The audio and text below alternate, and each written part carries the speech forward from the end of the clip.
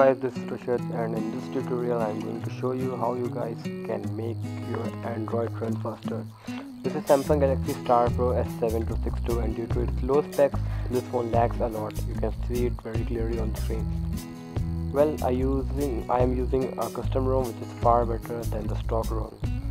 You guys can see that the phone is lagging a bit so what we can do is to go to about device to turn on the developer options. I've already turned it on so in developer options scroll to animation scales. Increasing their values may cause more lag. So for better speed you have to set their values to off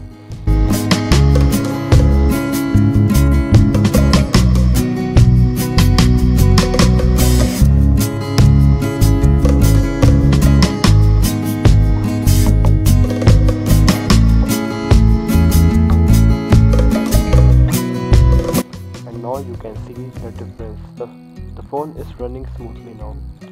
Hope you guys like this video. Please subscribe to my channel and hit like and share with your friends.